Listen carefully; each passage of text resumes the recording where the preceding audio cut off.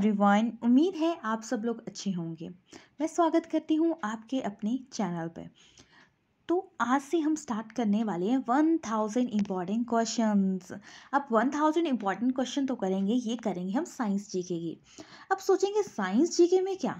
Science GK में आपको general knowledge जो भी साइंस की होगी, जो भी आप जो भी कम्पिटिटिव एग्ज़ाम होते हैं, जिसमें कि जनरल साइंस आती है, जिसमें कि फिज़िक्स केमिस्ट्री बायोलॉजी एंड आपका एनवायरनमेंट भी इंक्लूड होती है तो जो भी कंसेप्ट जो भी टॉपिक आते हैं क्वेश्चंस वो यहाँ पे आपको पूरी जो सीरीज़ देख लेगा तो जो भी कम्पिटिटिव एग्ज़ाम देते हैं साइंस के क्वेश्चन तो एटलीस्ट गलत नहीं होंगे, क्योंकि हम यहाँ पर प्रीवियस ईयर जितने भी साइंस के क्वेश्चन हुए हैं, वो सारे यहाँ पे आपको फुल डिटेल में डिस्कस करवाएँगे। और आपके लिए ये सीरीज़ बहुत ही बेनिफिट होगी, जो भी कॉम्पिटिटिव एग्ज़ाम की तैयारी कर रहे हैं। अब देखो, ये चीज़ें सभी एग्ज़ाम के लिए वैलिड है। तो क्योंकि यहाँ हम फिजिक्स केमिस्ट्री बायोलॉजी जो भी जनरल क्वेश्चन प्रीवियस ईयर सारे आए हुए हैं, वो सारे छांट के आपको यहाँ पे करवाया जाएगा। तो मैं आपको बता देती हूँ, इस सीरीज़ किस तरीके से रहेगी। इस सीरीज़ में वन थाउज़ेंड क्वेश्चन होंगे आपके। आपके कितने लेक्चर में होंगे? ये ट्वेंटी फोर्टी लेक्चर में कंप्लीट हो जाएँगे। फोर्टी लेक्चर मतलब ट्वेंटी फाइव क्वेश्चन हम पर लेक्चर करेंगे। तो फोर्टी लेक्चर में अगर आपके पूरी साइंस हो जा रही है तो इट्स बेनिफिट फॉर यू तो चलिए, आज से हमारा ये फ़र्स्ट लेक्चर है तो हम स्टार्ट करते हैं। So, your first question is, which of the following is the most needed to digest food in the stomach? तो वो आएगा, देखो, जैसे कि हम खाना खाते हैं, खाना खाते हैं किसी दांतों से चबाते हैं, फिर सलाइवा के साथ मिक्स होता है, उसके बाद आगे इसोफेगस में जाता है। तो सबसे ज़्यादा ज़रूरी जो होता है, वो होता है वाटर वाटर के साथ ये मिक्स होता है, उसके बाद आगे प्रोसेस होता है। अब देखो, अब अलग अलग जो हमारा डाइजेशन में अलग अलग सिस्टम हेल्प करता है, जैसे कि रैनिन है प्रोरेनिन है पैप्सिन है, ये हेल्प करते हैं प्रोटीन डाइजेशन के लिए। एचसीएल स्टमक में रिलीज़ होता है, जो क्या करता है? अब देखो एक्सेस एचसीएल रिलीज़ होता है तो एसिडिटी कॉज करता है। But small amount of H तो हेल्थ के लिए अच्छा होता है, कि वो क्या करता है? एक्स्ट्रा जो जर्म्स होते हैं, उनको रिमूव करने में हेल्प करता है। तो आई होप ये कंसेप्ट आपका क्लियर हो गया होगा। चलिए नेक्स्ट क्वेश्चन की तरफ़ बढ़ते हैं। What does gobar gas contain gobar gas में क्या कंटेन होता है? तो गोबर गैस में जो कंटेन होता है, वो होता है आपका मीथेन अब बोला जाए सीएनजी का मेन प्रोडक्ट कौन सा है? तो वो आता है मीथेन और इसे मीथेन को हम मार्स गैस भी बोलते हैं। क्या बोलते हैं? मार्स गैस और पैडी जो फ़ील्ड होती है क्रॉप होती है, उसमें सबसे ज़्यादा क्या पाई जाती है? मीथेन अब ब्यूटेन ब्यूटेन मेन कंपोनेंट आता है एलपीजी का। लिक्विड, पेट्रोलियम, गैस का मेन प्रोडक्ट आता है। अब, आपको पता है ना, एलपीजी की जो स्मेल भी होती है, जिसे हम पता लगा लेते हैं कि लीक हो रही है या नहीं हो रही तो एलपीजी में होता है इथाइल मरकैप्टॉन क्या होता है? इथाइल मरकैप्टॉन जो उसकी स्मेलिंग के लिए होता है, ताकि हमें पता लग जाए कि गैस लीक तो नहीं हो रही, कोई प्रॉब्लम तो नहीं है। तो इस तरीके से हमें पता लगता है। तो चलिए नेक्स्ट क्वेश्चन करते हैं which cell organelle is found in plant cell only कौन सी प्लांट सेल में होती है? देखिए क्रोमोजोम जो होते हैं, वो प्रेजेंट होते हैं आपके किसमें? सेल में। ठीक है, ये दोनों में प्रेजेंट होती है प्लांट में भी एनिमल में भी। माइट्रोकॉन्ड्रिया क्या होती है? इसे बोला जाता है power house of the cell क्योंकि ये क्या करती है? आपकी जो आपका ए टी पी सिंथेसिस में हेल्प करती है और इसका खुद का डीएनए भी होता है। फिर आता है प्लास्टिड प्लास्टिड होता है आपका तीन टाइप्स का, जैसे chloroplast leucoplast and chromoplast chloroplast को बोला जाता है kitchen of the cell kitchen में क्या करते हो आप? किचन में खाना बनाते हो? तो प्लास्टिड भी क्या करता है, जो क्लोरोप्लास्ट होता है, वो हेल्प करता है खाना बनाने में। इसका खुद का डीएनए होता है। तो इसलिए इसे खुद बोला जाता है किचन ऑफ़ द सेल। तो क्या है? ये आपका प्लांट में प्रेजेंट होता है। ह्यूमन बींग में ये प्रेजेंट नहीं होता। तो option C is the correct. Ribosome help करते हैं प्रोटीन की सिंथेसिस में। चलिए फिर नेक्स्ट क्वेश्चन की तरफ़ बढ़ते हैं। Oncogene is responsible for oncogene किसके लिए रिस्पॉन्सिबल होता है? देखिए एड्स आता है आपका, जिसे एच वायरस से होता है रिट्रो वायरस बोला जाता है जिसे। वन दिसंबर को आपको एड्स डे बनाया जाता है। एलिसा टेस्ट जो होता है, इसके लिए होता है। टी जो हेल्पर सेल होते हैं, वो अफेक्ट होते हैं इससे। तो देखो, हो गए ना फाइव क्वेश्चन तो आप ये मत सोचिएगा कि आपको वन थाउज़ेंड क्वेश्चन ही कंप्लीट हो रहे हैं। यहाँ पे एटलीस्ट आपके फोर या फाइव थाउज़ेंड क्वेश्चन से अबव ही कंप्लीट होंगे। आपके थाउज़ेंड क्वेश्चन में। तो जो मैं बात बोलती हूँ, उसे भी आप अच्छे से नोट डाउन कर सकते हैं। कैंसर देखो कैंसर रिस्पॉन्सिबल होता है ऑनकोजीन रिस्पॉन्सिबल होता है कैंसर के लिए। और स्टडी ऑफ़ ए कैंसर क्या बोला जाता है? ऑनकोलॉजी तो ऑप्शन हमारा बी करेक्ट हो गया। ट्यूबर क्लॉसिस के बारे में जान लेते हैं। ये क्या है? ये, इसकी जो वैक्सीन होती है, वो होती है बी सी जी और ये होता है माइक बैक्टीरिया ट्यूबरकुली से फिर आता है टाइफॉइड टाइफॉइड होता है सेल्मोनेला टाइफी से. विडाल टेस्ट इसके लिए होता है. याद रखना विडाल टेस्ट टाइफॉइड के लिए होता है. तो हमारा option B is the correct चलिए नेक्स्ट क्वेश्चन की तरफ़ बढ़ते हैं. The presence of a which of the following prevent a coagulation of a blood inside the body अब ह्यूमन ब्लड में कॉगुलेशन होती है. ठीक है? तो प्रिवेंट करता है. अब आप सोचोगे कि हमने तो पढ़ा था कि कॉगुलेशन होती है, वो हेल्प करती है ब्लड लॉस के लिए. बट बट अंदर अगर ह्यूमन बॉडी के इनसाइड द ब्लड क्लॉटिंग हो जाए तो क्या होगा? जम जाएगा फ्लो नहीं होगा ऑक्सीजन का, जिससे कि एट द लेस्ट इंसान की डेथ भी हो सकती है। तो जो आपका हैप्रिन है, वो हेल्प करता है ब्लड कॉगुलेशन प्रिवेंट करने के लिए इनसाइड द बॉडी और बाहर जो कॉगुलेशन में हेल्प करता है, वो आता है आपका फाइब्रोजन अब बाहर के लिए ये ज़रूरी है, क्योंकि अगर ब्लड ऐसे फटाफट लॉस होता रहेगा, और अंदर क्या है? प्रिवेंट करने को ज़रूरी होता है। वो हेल्प करता है heparin heparin produce by liver I think clear हो गया होगा। चलिए next question who invented dynamo dynamo की खोज किसने की थी? डायनमो होता है आपका। मैकेनिकल एनर्जी कन्वर्ट होती है केमिकल एनर्जी में। तो माइकल फेराडे ने इसके बारे में बताया था। फिर आता है गुटनबर्ग गुटनबर्ग आते हैं आपके, इन्होंने प्रिंटिंग प्रेस के बारे में बताया था। इंडिया में जो प्रिंटिंग प्रेस लाया था, वो पुर्तगी लाए थे। एंड फ़र्स्ट जो न्यूज़पेपर था, वो था बंगाल गैजेट फिर आता है मैकमिलन मैकमिलन ने बाइसाइकिल के बारे में बताया था। पास्कल ने कैलकुलेटर के बारे में बताया था। नेक्स्ट क्वेश्चन की तरफ़ बढ़ते हैं। Which day observe as national science day national science day कौन सा ऑब्ज़र्व होता है? तो देखो साइंस डे मनाया जाता है सॉरी थोड़ा सा मिस्टेक हो गया।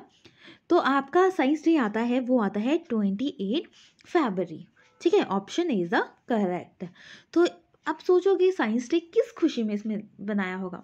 देखो, एक थे रमन साइंटिस्ट थे। उनको इस नोबल प्राइज़ मिला था, इसलिए 28 फरवरी को हमारा साइंस डे बनाया जाता है। 8 मार्च को international women day one December को अभी बताया। इट्स डे फिर आता है टेन जनवरी। टेन जनवरी को आता है वर्ल्ड हिंदी डे। कब आता है? World Hindi day. National Hindi day. National Hindi day आता है फोर्टीन सितंबर को। कब आता है? फोर्टीन सितंबर को। चलिए फिर नेक्स्ट क्वेश्चन की तरफ़ बढ़ते हैं। Acid rain is cause by the pollution of the environment by acid rain किसके थ्रू होती है? एसिड रेन होती है nitrous oxide and sulphur dioxide. तो ये मेन कॉज क्या करता है? मार्बल कैंसर भी बोला जाता है। अगर पूछा जाए मार्बल कैंसर किसके थ्रू होता है? तो याद रखना nitrous oxide and sulphur dioxide अब एसिड रेन में ये चीज़ें प्रेजेंट होती हैं, इसकी वजह से मार्बल होते हैं खराब। इसलिए उसे मार्बल कैंसर बोला जाता है। चलिए फिर नेक्स्ट करते हैं कि velocity of a light is maximum in तो आपको पता होना चाहिए, जो आपके लाइट की वेलोसिटी होती है लाइट की वो वैक्यूम में सबसे ज़्यादा होती है। फिर आ गया क्या? लिक्विड एंड आपका वैक्यूम में लाइट की सबसे ज़्यादा होती है। तो आपको ये याद रखना है। अब साउंड की आएगी तो साउंड की आपकी सॉलिड में होती है सबसे ज़्यादा। तो वैक्यूम में होता है तो वैक्यूम इज़ ऑप्शन सी अब देखो डायमंड सॉलिड में आ गया, आपका वाटर लिक्विड में आ गया हाइड्रोजन गैस में आ गया तो वैक्यूम में सबसे ज़्यादा होती है। नेक्स्ट नेक्स्ट आता है Meghnath Saha is known for this contribution in which of the following field तो मेघनाथ साहा थे, ये इन्होंने सोलर रे के बारे में बताया था। प्रेशर कितना है वेट कितना है, और इन्होंने साहा इंस्टीट्यूट एस्टेब्लिश किया कोलकाता में। तो ये थे फिजिक्स के। तो option is the correct next question आता है who is the father of a immunology immunology के फादर कौन है? देखो लुइस पास्चर ने पास्चुरेशन मेथड दिया था, जिसमें कि बताया था कि फर्मेंटेशन भी थी, और इन्होंने ये भी बताया था कि जैसे कि आप दूध को गर्म करते हैं, फिर ठंडा करके फ्रिज में रख देते हैं तो दूध खराब नहीं होता। तो कोल्ड एंड हाई टेम्परेचर जब दिया जाता है, किसी भी चीज़ को प्रिवेंट किया जाता है, उसको ख़राब होने से तो ये लिस पास्टर ने दिया था। रैबीज़ की वैक्सीन भी इन्होंने दी थी।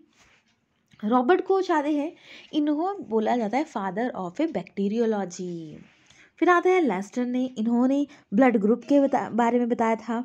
एंड वैनर पर लेंस्टर एंड वैनर ने आर एच फैक्टर के बारे में बताया था। अगर पॉजिटिव है तो एंटीजन प्रेजेंट नेगेटिव है मतलब एंटीजन अपसेंट अब आते हैं आपके एडवर्ड जैनर अगर पूछा जाए स्मॉल पॉक्स की वैक्सीन किसने बनाई थी तो एडवर्ड जैनर ने. तो option D father of immunology इसलिए बोला गया क्योंकि सबसे ज़्यादा जो बीमारी थी स्मॉल पॉक्स की बहुत वायरल थी तो उसकी वजह से बहुत सारी प्रॉब्लम आ तो एडवर्ड जैनर ने उसके बारे में बताया था, इसलिए इन्हें फादर ऑफ़ ए इम्यूनोलॉजी बोला गया। Next question is which is the full form of a L T E with respect of a mobile communication तो मोबाइल कम्युनिकेशन में L T D L T E की full form क्या है? तो ये आता है लॉन्ग टर्म इवोल्यूशन क्या आता है? Long term evolution option B next question की तरफ़ बढ़ते हैं. Which of the force combine together to keep planet in their respective orbit तो वो आती है ग्रेविटेशनल एंड सेंट्रीपिटल क्या आती है gravitational and centripetal option A next question is vitamin C help in a observation of a which of the following mineral तो कौन से मिनरल के लिए आपका विटामिन सी आपका observe in which following mineral तो विटामिन सी का नाम होता है एस्कॉर्बिक एसिड कॉज करता है स्कर्बी स्कर्बी में क्या होता है? स्कर्बी में होता है आपका कि क्या करता है ये?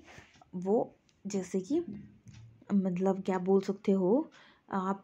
जैसे कि ये क्या करता है, स्कर्वी जैसे कि गम्स हैं, गम्स में ब्लीडिंग होती है तो वो स्कर्वी कॉज करता है।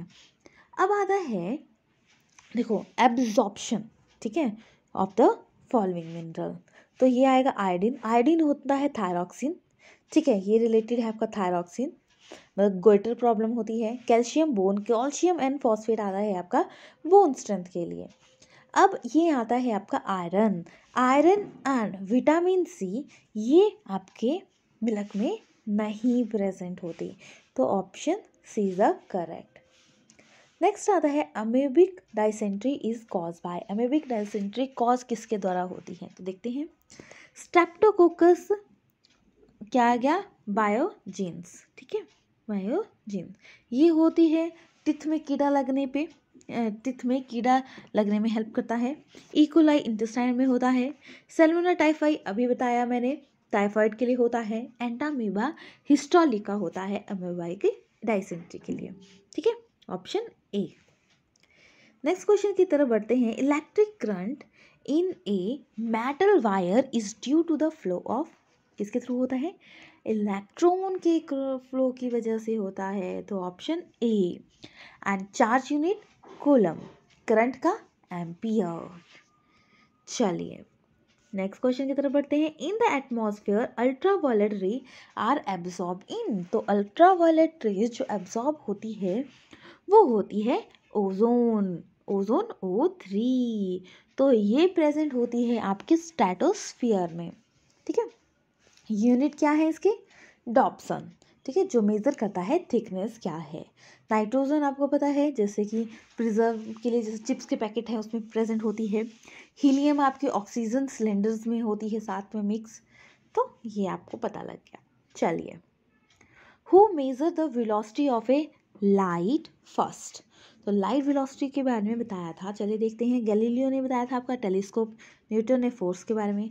रोमर ने दिया था आपका velocity of a light first Einstein ने बताया था E is equal to M C square ठीक है।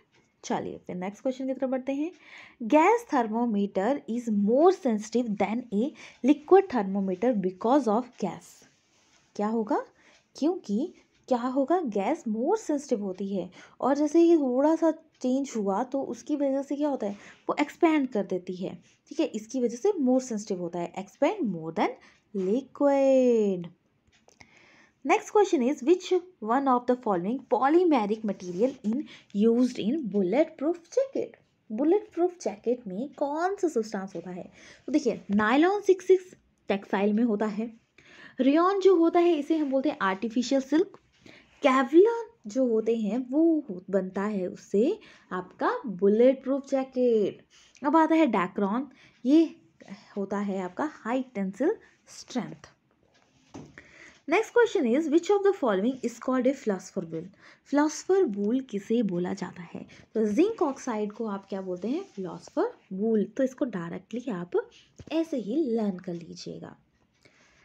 नेक्स्ट क्वेश्चन आता है which of the following is a found in a nail polish remover तो नेल पॉलिश रिमूवर में होता है आपका एसीटोन मेन जो इसको बोला जाता है वो होता है isopropyl alcohol acetic acid C S three C O H ethanoic acid भी हम इसे बोलते हैं।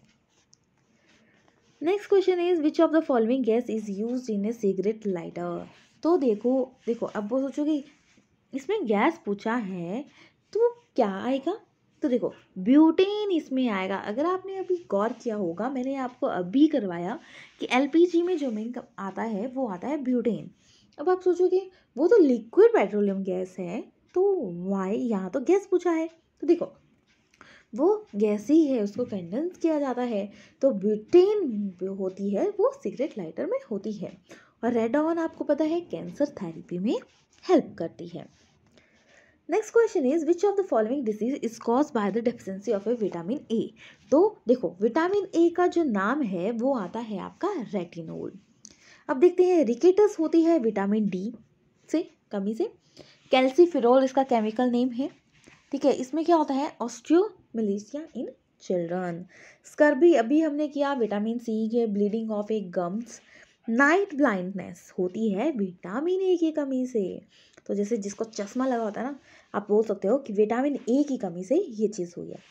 अब एक और प्रॉब्लम होती है विटामिन ए की वजह से, वो होता है ज़ीरो मतलब तो थैलमस मतलब ड्राई आइज़ हो जाती हैं।